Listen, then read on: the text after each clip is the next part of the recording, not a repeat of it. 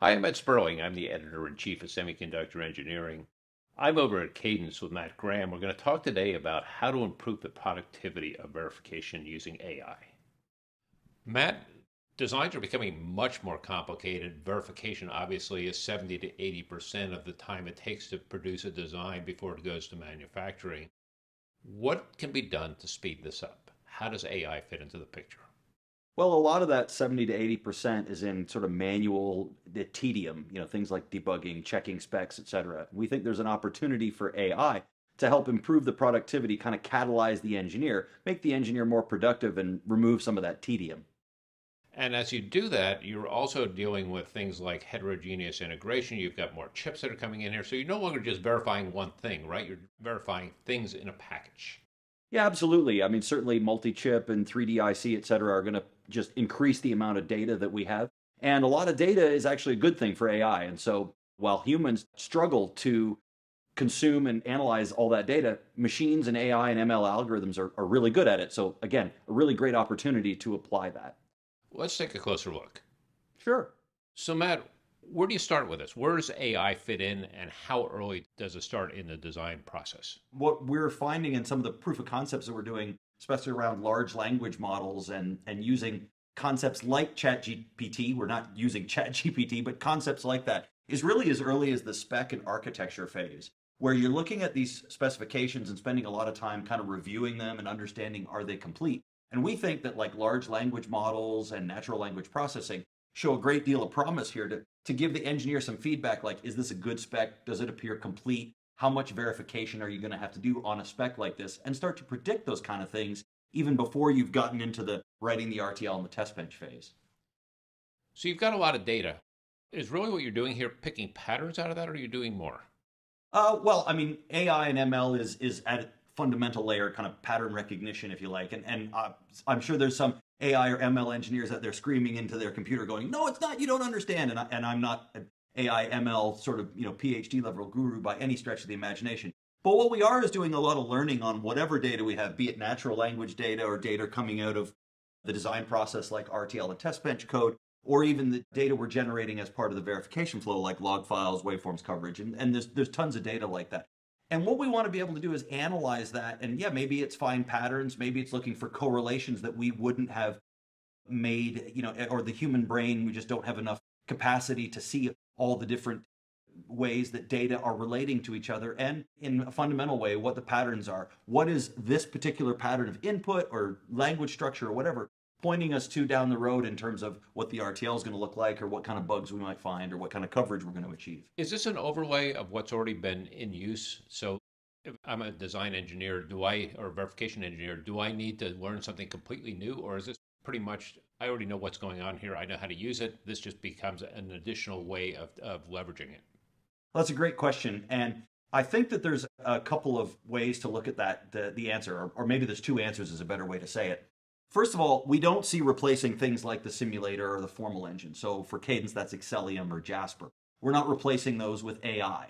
Those fundamental engines will continue to be the workhorses of verification. The same is true in implementation and so on. What we do see is the ability to augment, kind of catalyze the engineer. So take the data that those things are generating and do something interesting with it, analyze it in some way, especially the data we're not looking at today. So in the case of debugging, you know, all the passing simulations, you don't go look at the log files from the passing simulations and try and understand uh, what's going on there. You typically will focus, an engineer will focus in on what's in the failing simulation. Now, in terms of learning a new tool, uh, I think not so much, but learning a new method of work. And I'll tie it back to something very simple. I have teenage kids and they're doing homework and so on. And, and when I was sitting and doing homework with one of them, uh, it was a you know 47 times 83 kind of, of number and i get my phone out open the calculator app and try and do the numbers.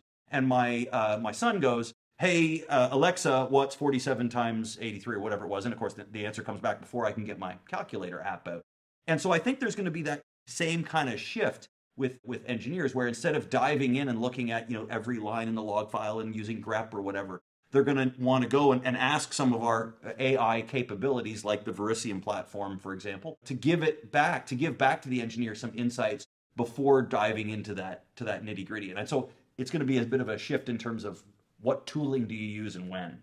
When I think about AI, one of the issues that always comes up is how much accuracy, precision do you need? Does that fit in here as well? Do you have results that don't need that much accuracy as well as those that do? Uh, yeah, that's absolutely the case. So, first of all, in verification, we have now for the first time the concept of quality of results, right? Because certainly an AI algorithm can come back and say, you know, the root cause of your bug is here. If we don't have enough data, or we haven't trained well enough or whatever, certainly you could get data that wasn't as helpful. Certainly there's an aspect of accuracy in all of this. But by the same token, we're not looking for deterministic 100% solutions, uh, at least not at this point. Where we see a, a big opportunity is to get the engineer 80, 90% of the way there. And, and our early customers that have been using some of the stuff in, in our JedAI platform and, and like I said, in the Verisium suite of applications and, and tools is, you know, as much as an order of magnitude in improvement in productivity, but not 100%. We're not eliminating engin- any engineers. What we're trying to do is make the ones that are there more productive. So certainly, you know, there is an accuracy and it's certainly not 100% yet. This has another element to it as well, which is as you get into these complex systems and as you're going domain specific designs, you want to be able to slot in different pieces, right? So now you can say, okay, we're going to try this one out. This one works. This one works better than this one. Let's use this one. Do you see AI applying there as well? And if so, what's the implication on the verification cycle? Because that typically is the longest, hardest part. And in the past, if you did one thing and you added something else, you had to redo the whole thing over again. So a lot of the area that we've been able to apply AI is in that kind of differential area. So we have something, we've changed it in some way. What's the meaning of the delta? Certainly something like tkdiff can tell us, you know, raw number of characters that have changed in a source code file. But what does that really mean in terms of the design, the amount of effort that might be required, et cetera? First of all, we've got some proof of concept where, you know, AI in particular things like LLMs can help extract out of that. Here's the amount of change that you might have introduced. We have some other areas where we're applying AI kind of at the compiled artifact level. So once we've sort of parsed and compiled RTL or a test bench, what is the amount of real behavior that's going to change without having to deterministically say this is the exact behavior that will change, but more statistically, what behavior is going to change. There's one other example. You mentioned something about basically as designs are getting more complex, how do we choose the right paths? That's an area where we've got AI all the way down in the engine itself in terms of our formal tool. And in Jasper, we're using AI to help us choose which of the different algorithms Jasper has implemented in terms of formal proof solutions is going to be the most effective. So rather than randomly choosing or using some deterministic algorithm, we can use some statistical algorithms to help us improve the throughput all the way down in the guts of the core tool. As you get into different packaging, as you get into different foundries on different processes, you've got all sorts of different variables here that you didn't have before. What changes in terms of the verification and how does AI fit in there? Well, I think the biggest impact on verification is probably just as we go to smaller nodes, we're getting, you know, larger and larger complexities. There's niche sections of verification that get heavily impacted by the foundry, but you know, I think the biggest impact is just the raw size. You know, certainly when we we double the gate count, we square the state space, which means we increase exponentially the verification problem. Now, that being said, I think it, with AI, we have the opportunity to fetch out of the implementation phase some of that information and sort of shift it left into the verification phase to where data that we weren't considering before could be pulled into the verification flow and vice versa, right? We can maybe start to fetch out of the verification flow more waveform data, more toggle data, et cetera, in helping to understand power effects and so on and so forth. So really, I think the impact there that AI can have is just broadening the, the scope and horizon of data that we can use at different parts of the flow, and that's going to help us just shift left in general. Does it also help when you get to an ECO where you have one change that comes in late in the design cycle and you go, okay, now we've done all this work. Do we have to redo it all, or does whatever you've accomplished there in terms of debugging, verifying what's there, does that easily transfer over to the new? Here's the change that has to be implemented certainly the potential is there. That's an area where I would say we have active research ongoing, and I don't know that we've gotten to a solution or, or to something that's you know a viable app at, at this point. But certainly we see the opportunity again with you know our our joint enterprise data and AI or JedAI platform, where we want to take all that data and store it in a kind of a central place. That ECO is one of the areas where we have an opportunity to really, you know, like you say, leverage all that data we've done before. We've done this work before. How can we you know, statistically draw on that and understand, well, yeah, there's here's this debug that we've done in the past, or here's these simulations we've run in the past, and here's the, the little bit that's going to change. But certainly that's an area we're looking into. I don't nothing, you know, super concrete at this point. As engineers use this, what sort of problems do they typically run into and how do they get resolved? The biggest problem is that this is a new area of, of, of research, a new area of development. And so as a result, we're still in the learning phase of where this is applicable. AI and ML is not universally applicable across the spectrum. Certainly, one of the key things that we need to understand is that AI and ML can only do what it's learned. So if you've never solved a particular kind of bug, or if you've never, you know, uh, gotten into a particular corner of the design, AI is not going to tell you by default, at least not the way that it's working today. Oh, this is how you get into that corner. And so I think engineers, their biggest problem is expecting it to be kind of a deterministic solution and not appreciating that it needs to learn something. And then once it's learned it, it can help you get back into that corner. So in terms of the actual technical challenges, it's just about dealing with the amount of data that, that we need to store and keep and how to do that efficiently, but also at what point are we trained effectively and so on. And those times are quite short, but really just, I guess, patience is a little bit of, of what's required at this point. So, what comes next? Where do you see this going over the long term? Is it just going to be a tool? Is it going to be a this is my buddy. I'm going to be working with this just same way I would the rest of the team. How do you see this rolling out? That's an interesting question. I think uh, you know we're at the very beginning of this, right? But this is this is a decade away from from totally changing what we do, and we're going to see this incremental changes over time. Now, I think it has value. I think it has real use today, but I think we're going to look back in a decade and see that it's completely changed the way that we we uh, you know design and verify ICs. In the same way that AI and ML under the hood, uh, internet search has completely changed the way that we interact with search. We think about you know whatever brand name from you know a decade or two ago and how we used to go about internet searches we've, we've completely changed how we, we interact with that. At the 10000 foot view it's still giving you an answer but it's giving you a much better answer and so on. So i think we're going to see the same thing in verification. It will be all of the things that you mentioned. It'll be your buddy it'll be another tool. It will be some automation under the hood that you don't even realize is there and is just giving you better results. And is the goal here to shorten the time that you're actually in verification, or is it to improve the results of what comes out of verification? It's both of those things. I think really the key ask that our customers have is overall productivity and throughput. And they're seeing, you know, a 10x or more increase in complexity. They're not able to hire certainly 10x engineers, and we're seeing more design starts on top of that. There's really a talent, a resource gap there that we need to fill. The key is going to be productivity, I think, and that's going to be the big payoff.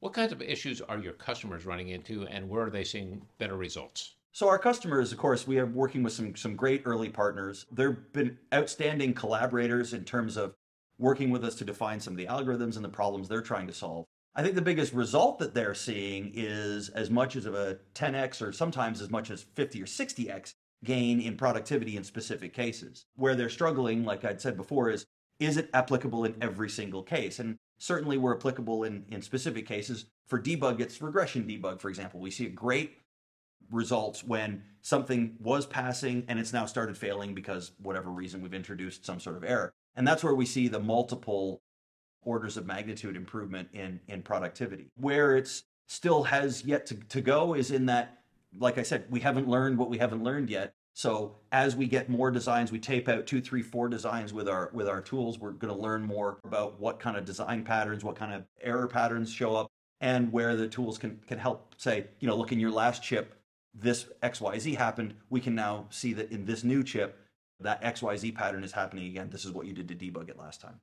Are you getting the necessary feedback in order to be able to modify your algorithms? Because something like 35% of the complex designs being done today are being done by system companies that are used internally. You never actually see that data.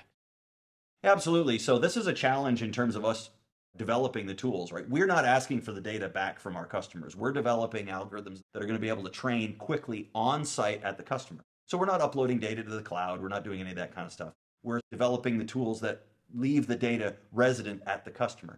Uh, what we are getting is great collaboration where our customers are saying, look, we tried to apply XYZ tool, parts of Verisium, parts of JedAI to a particular problem. It didn't give us as much feedback as we would have liked. It didn't give us as much improvement as we would have liked. And we can go in and work with them to improve how we learn and how we leverage the data once it's in the model. And you also want a full closed loop here too, right? You really want to go all the way out into the field and go, okay, how did this work over time? And then I need this data back go out into the field in the same way that traditionally we have in EDA, and that we go run a tool, we see how it runs, we look at what's going on in the customer's environment, in the customer's design, and we tweak the tool to optimize for whatever problem they might be trying to solve. We're doing the same thing here. So we're not really getting data back in terms of the real data, but the feedback back.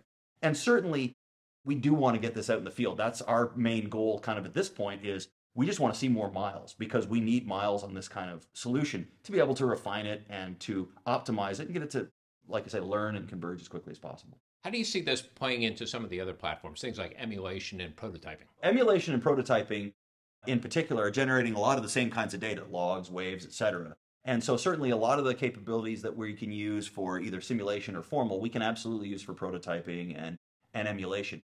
It's only going to uh, be more substantial at, at, emulation and prototyping just because you know the speeds are higher, the amount of data we're generating can be significantly greater. So certainly that's going to help the engineer go through all that data and, and analyze it, be more effective. It's also again going to help us shift even further left. Prototyping and emulation are helping us, you know, pull software verification left pre-silicon so that the more we can do that, the more we're going to shift more and more of that left into the pre-silicon phase. And that's going to help our customers, you know, again, productivity and quality. How resource intensive is this? Do you need to be in the cloud? Can you do it on your own site? I mean, what what are we looking at here for the customer? We know that our customers don't have farms full of GPUs, at least not yet. And not all of them want to go out or even are able to go out to the cloud and, and address millions of instances. So certainly some of our applications we're looking at can they run on a very few cores and do something useful? Maybe not answer the whole question end to end, but do something very useful, implement some relatively simple AI algorithms and give back a, a meaningful result to the, to the user. Now, when we talk about things like large language models and natural language processing and sort of chatbot type things, and yeah, those are going to be more resource intensive, and maybe those are only able to be de- deployed on the cloud or when a user has a big set of resources at their disposal. So it really r- runs the gamut. And one of our challenges certainly is to build solutions that are both innovative and leveraging all of that capability, but also deployable by our customers in the near term. Matt Graham, thanks for a very interesting conversation. Thanks, Ed.